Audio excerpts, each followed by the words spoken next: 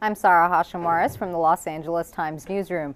A former USC professor wanted on suspicion of sex crimes against minors was extradited back to Los Angeles from Mexico this week. FBI agents escorted 64-year-old Walter Lee Williams at LAX Wednesday night after he had been arrested by Mexican authorities in Playa del Carmen. Williams is charged with the sexual exploitation of children, traveling with intent to engage in illicit sexual conduct, and engaging in illicit sexual conduct in foreign places. Williams, who departed Los Angeles in 2011, was recently added to the FBI's 10 most wanted list. 10 of his alleged victims between the ages of 9 and 17 have been identified. Many are from Southeast Asia and other developing nations. For more on this headline, visit latimes.com and be sure to get the latest updates on Twitter at LA Now.